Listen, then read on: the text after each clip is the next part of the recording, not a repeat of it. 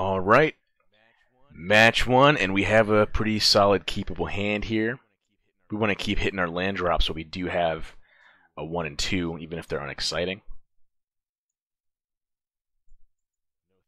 No three, unfortunately, but we might get there. And getting to four and Pirates prizing puts us in it to win it. Especially because that likely hits our land so we can get the Dreadmaw down on five, which is super sweet.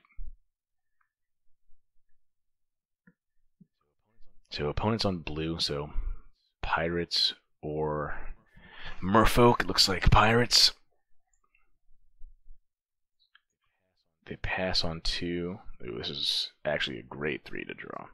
It's it's not at its most exciting at turn three, of course, but it's still a three mana three three, and it's good to just get it down. Get our keeper to the field here. And now we, we have just a solid curve out if we draw a land soon. Siren Lookout, a card I've been very impressed by because flying is incredibly annoying. And it's a 2-3 flyer, which does a good job of holding the team back.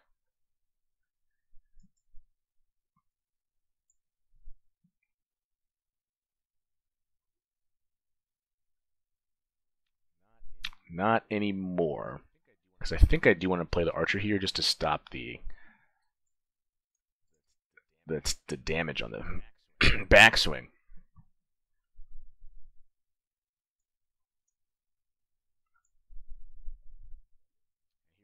And here we will do the fight because that frees us up to attack with the keeper because I'm fine trading my unexciting two mana play for their pretty good flyer. I did not expect them to be willing to take that up.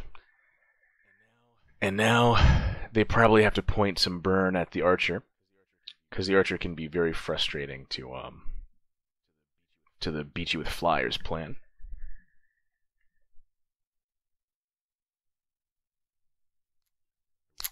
I very much want to hit that land to Pirate's Prize. Get the Dreadmaw down as soon as possible. So we'll know if they have a trick or a, a burn spell if they choose to attack here. Because they, if they leave this back as a blocker, they save themselves three damage depending on what they're playing second main. So it's kind of likely that they have something, but I think I want to see what it is.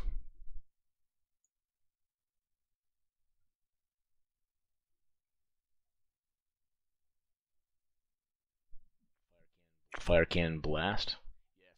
Yeah, so I think blocking there was the right play, because if it was Fire Cannon Blast, and it was, then we take the two and we still have our creature rated to death, so.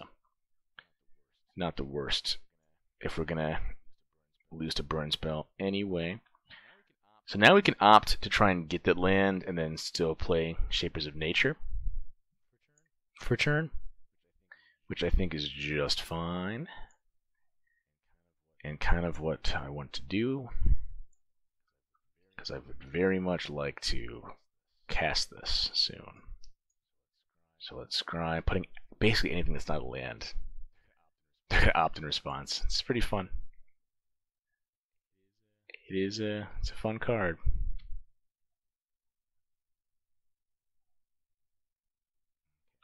Okay. So that's definitely going to the bottom. And then we still did not hit our, our land to, to get the shapers down. So that's sort of the downside of taking that line.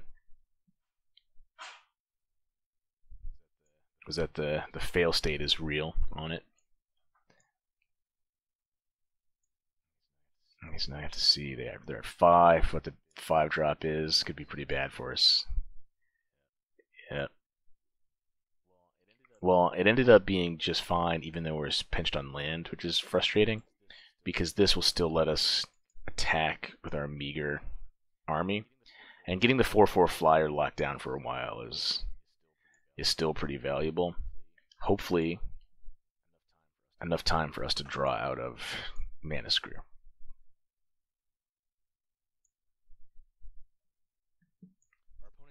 Our opponent's still not at the point where they even feel that their life total is being pressured, which is the problem.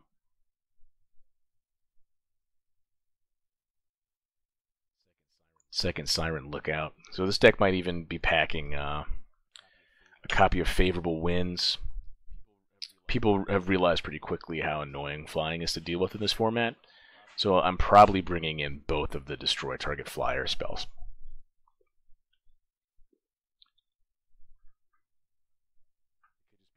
Could just be this draw from the opponent, of course, but even so, I think there's some value in bringing that in.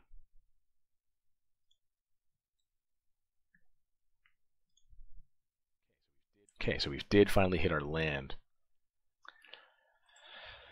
There's an argument to be made for Tempest Caller. Potentially. Tap that.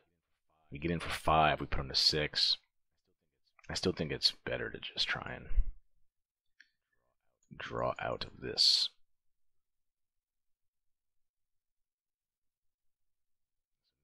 So next turn we get a Colossal Dreadmaw, and then Colossal Dreadmaw into Tempest Caller is pretty real.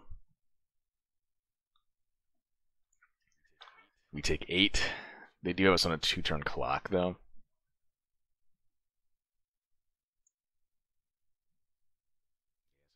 Yeah, so that, that line gets worse when we think about the fact that they have a two-turn clock, but maybe they're worried about getting killed and they leave up their own blockers.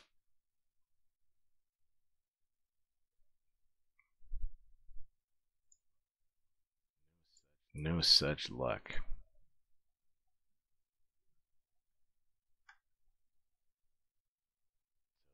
So they've kept up something. But yeah, it actually just looks like there's no way out of it.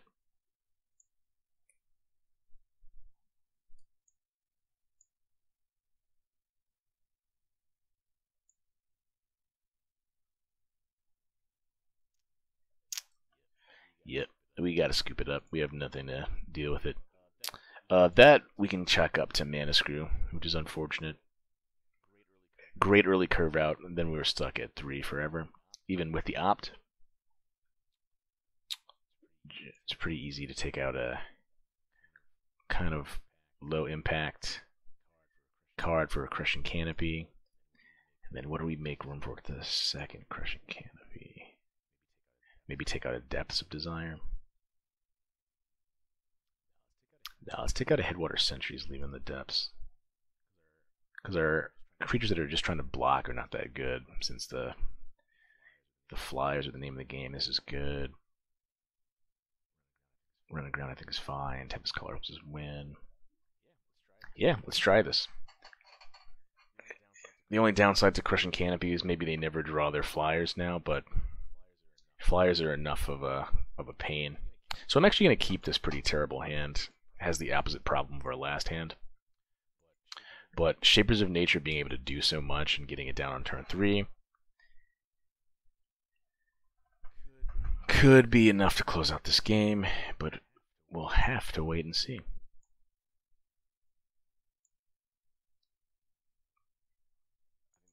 I think that's a fine draw.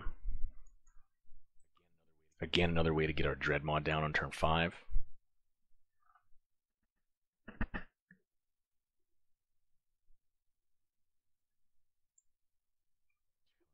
Tilonalli's Knight.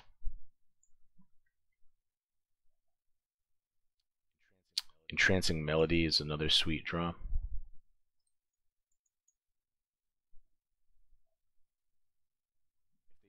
If they drop a, a mountain, I think we block.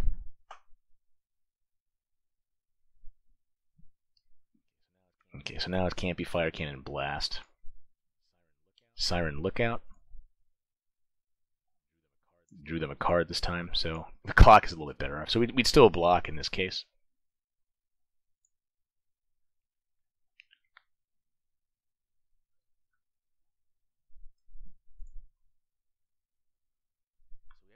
So we have a couple of options available to us.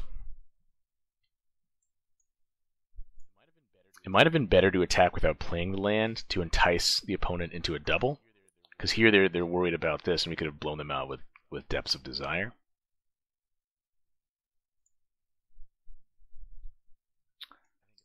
I think it's fine to Pirate's Prize here. Another Shapers is sweet. So now we take three. But we get to deploy an early Dreadmaw.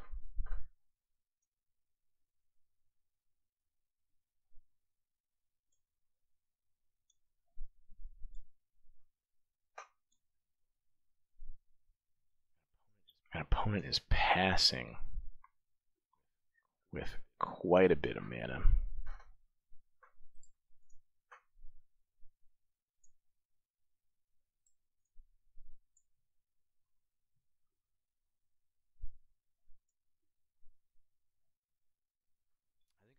I think I'm just worried enough about the um, Dreadmaw getting countered that I'd rather play out the second Shapers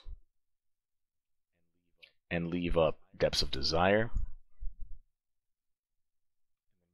And then wait till they tap out to deploy the Dreadmaw. And we also have Entrancing Melody, so we have some good stuff to deploy. And we get to see what they held up. Uh, that's as fine a draw next turn as it was when we drew it. So no big hit to our to our tempo. Well, actually hit to our tempo, but no big hit to our game plan. Fire Shrine Keeper coming down.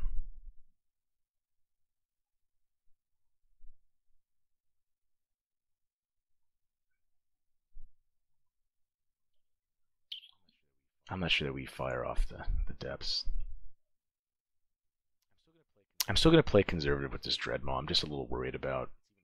It's even worse to have that card bounced.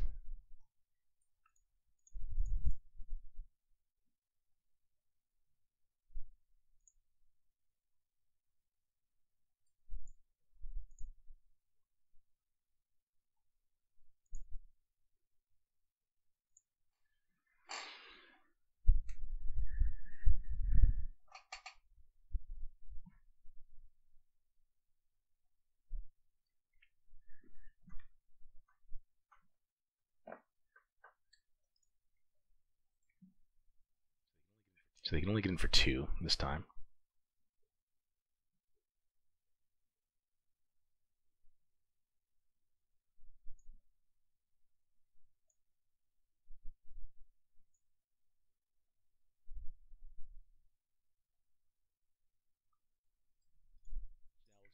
Now we'll just go to bounces so we can get in for a big attack. It's pretty good to have it as insurance, but maybe this prompts them to fire something off. You're going to blink the, the knight.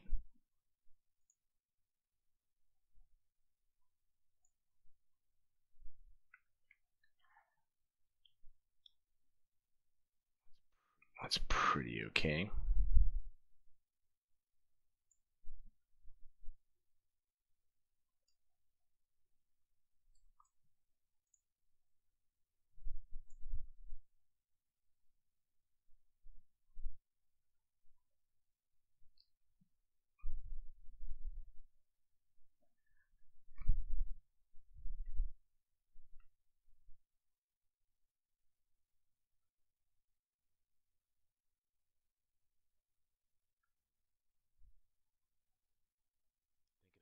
Thinking about blocking, they decide against it.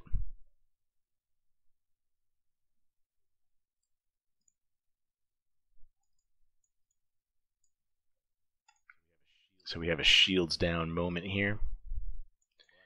But it doesn't look like they can hit us back for too, too much, and the Dreadmaw is a big deal.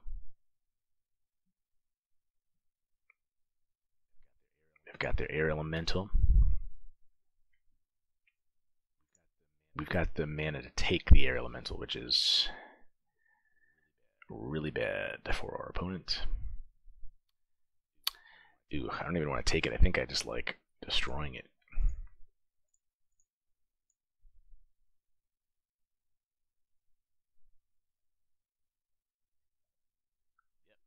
Yep, and they have had enough. Awesome. So yeah, even if just to hit air elemental crushing canopy is a fine include, that went much better for us. Let's try it again. We're a little fat on threes. With all the crushing canopies in. Maybe this Stormfleet Spy goes. I, I like it though. I like digging through the library.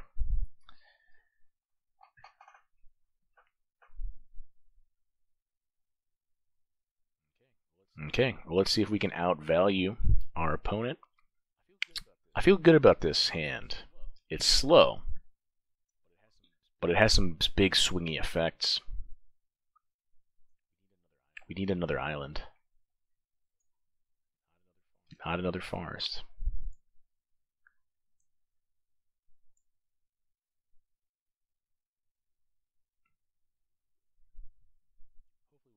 Hopefully we'll get the other island that we need in a reasonable span of time.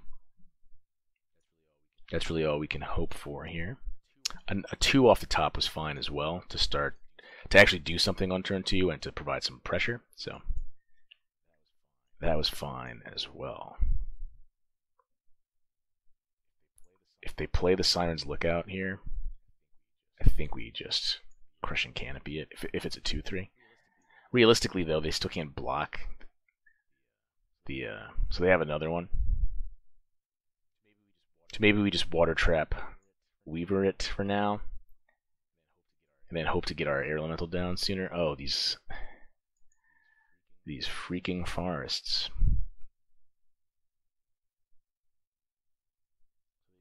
So they really can't block the Deeproot Warrior anyway. So this is kind of annoying in that it, it doesn't do much.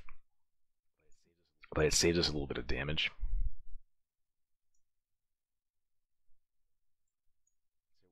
So we're really looking for Island off the top. It's the most important draw that we can get. Our opponent's also looks color screwed, but their red's not the most exciting in their deck, and they're they're going to be digging through their deck anyway with the lookouts. So that's kind of nice because we know to play around that. Oh, and they they kind of have the same thought there, where like if someone knows about it, it's way less good. Uh, we seem to have gotten there, folks. Tempest Callers, of course, better a little bit later, but we'll get it down, get in for four, get our air elemental down, and we win the skies, which are important to win. And hopefully we stop drawing lands. There's their red.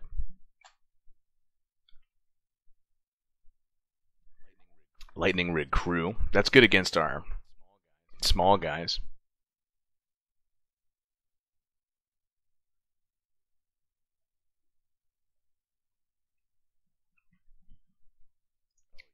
Oh yeah. Now we have a clear as day target for the crushing canopy.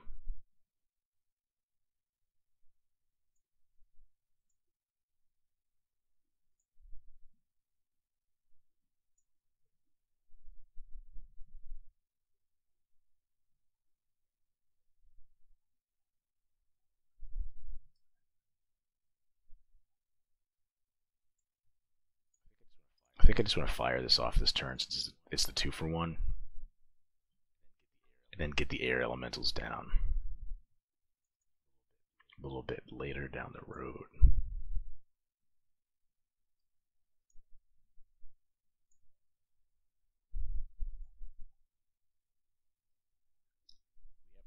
We have pounce up for whatever that's worth. It's not worth much.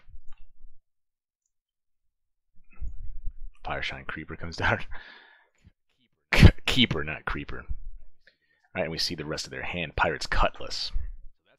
So that's frustrating because that makes our um, our air elemental have to trade with the the siren lookouts.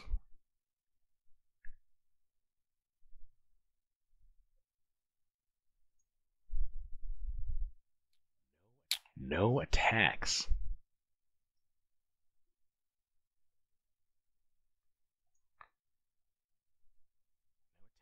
No attacks is pretty interesting.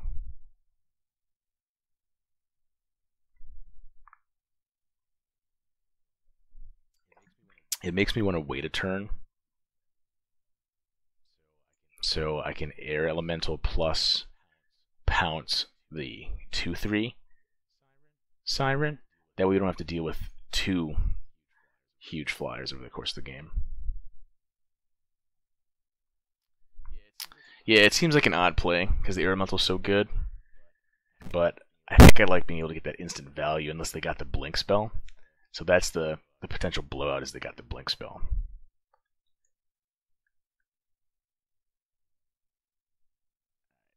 Alright.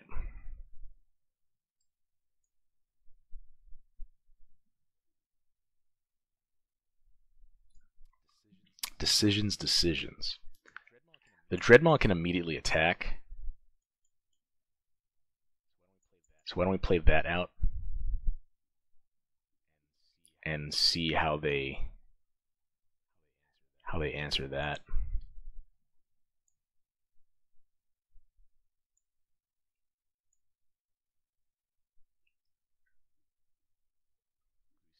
Because we still have air elemental uh, pounce for next turn. But let's just see how they block. Pounce can also throw throw combat for our opponent.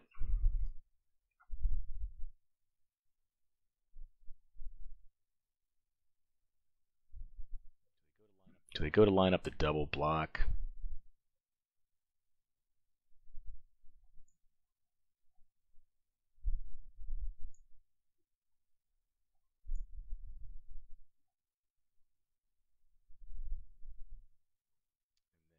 And then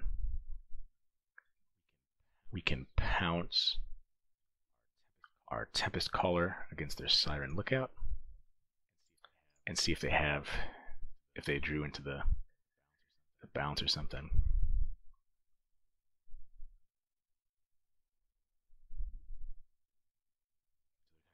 So they're going to spell swindle it. Sure.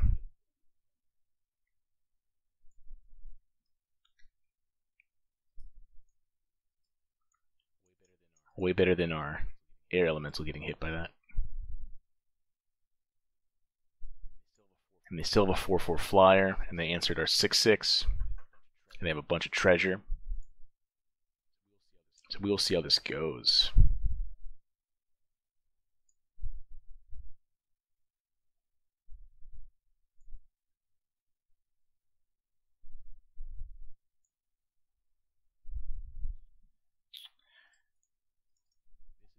This is not the worst draw in the world. It's close.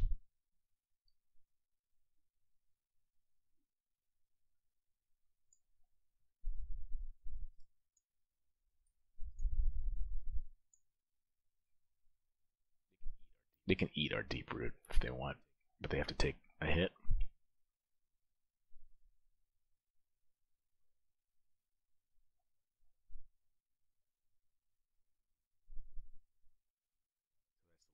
That's the line they go with.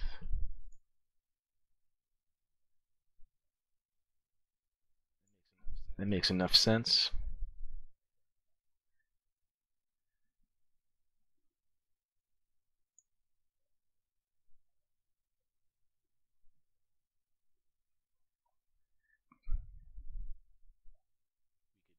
We could do a double block, but it will probably prompt our opponent to Fire Shrine Keeper for some value.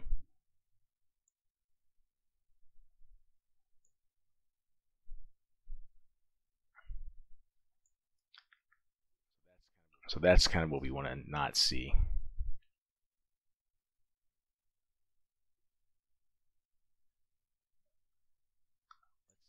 Let's see if our opponent wants to eat our guys or um, blast them with the Fire Shrine Keeper here. And if they want to finally make the trade,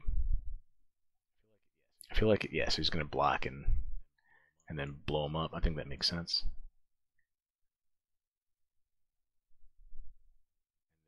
and then our opponent's the one with the clock, and we don't have a clock anymore. So they might have gotten there. They might have outvalued us. It's all up to the top of the deck now. So, huh. It looks like they misclicked somehow. Uh, which could be problematic for them.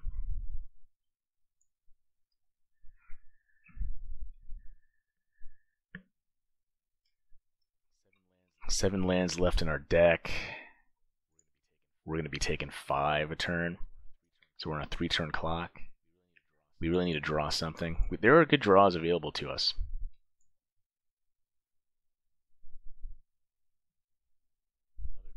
Another creature means we get to... Yeah, so our opponent misread what the card did. So that's an advantage. So this is just... Ugh, unfortunate. Our opponent has to have a counterspell.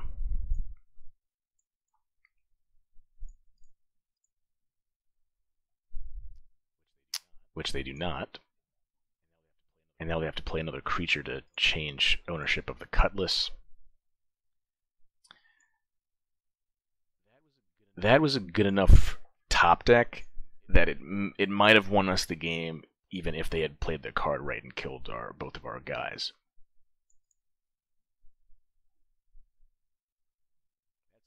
That's also a pretty good top deck for our opponent.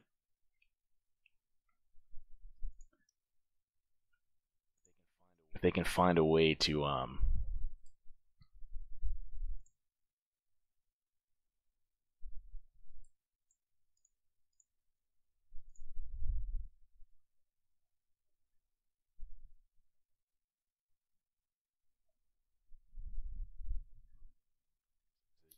So there's no there's no way to win, unfortunately, with this. But we've got to kind of hope our opponent uh, doesn't hit a way to just kill us, because now they they can beat us with burn.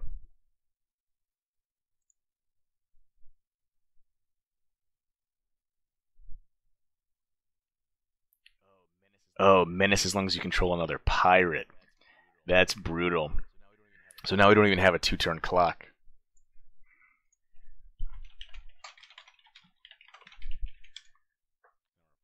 And our opponent does. So this is in very interesting stuff.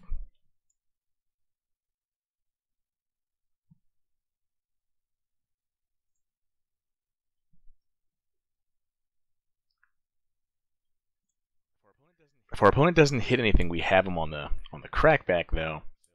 So this is going to be pretty exciting.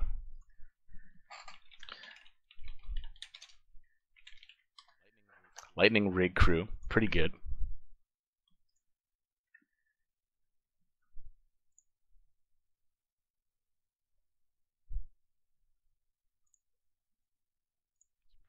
It's probably enough to get there for a opponent. This ended up being a very fun, very interesting game.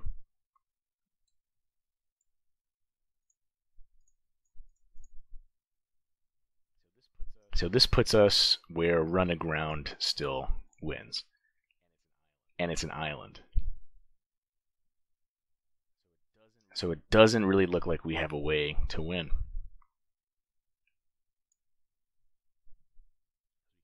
Because we can't activate that ability as many times as we need. But we'll swing for the fences.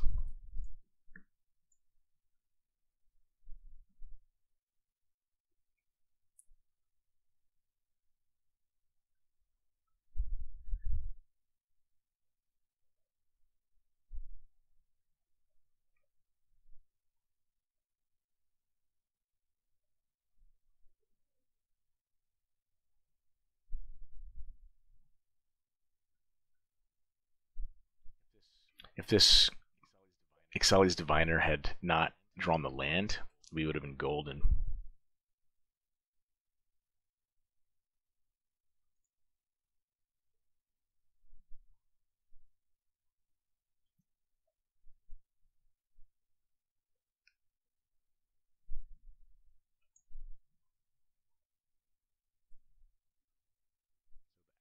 So the out, I think, is Draw a card, see if it's run aground, which survives us a turn. And now, even if it is a bounce spell, we can't play it.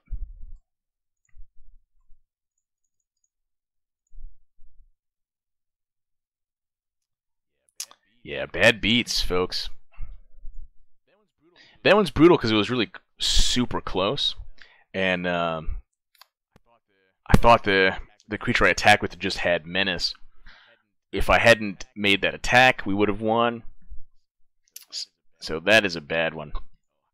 Oh, I missed my opponent. My opponent probably said uh, something about the match there at the end too. But yep, early in the set, bad beats. So it was menace for my opponent, but I had to had to examine the card a little more closely.